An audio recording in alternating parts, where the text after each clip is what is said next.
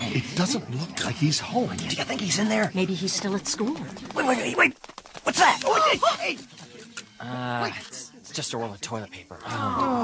With legs? That's him! He's trying to get away. Chicken Little. Take it little. Chicken Little. Did you actually think the sky was falling? Did you know he was an acorn? What does your father think of this? No comment. No comment. Look over there. Huh? Where'd he go? There he is! Chicken Little, your action caused widespread panic, and subsequently you were blamed and humiliated in front of your town, your father, and everyone you know and love. Was there a question in there? Uh, no. I just wanted to point that out. Oh, please, all right. One final question. Do you think you'll ever get to live this down? Yes. Yes, I will. Because I believe in second chances.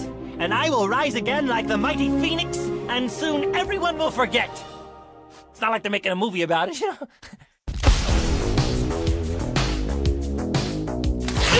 Mistake. People, please, please, I'm begging you, let it go.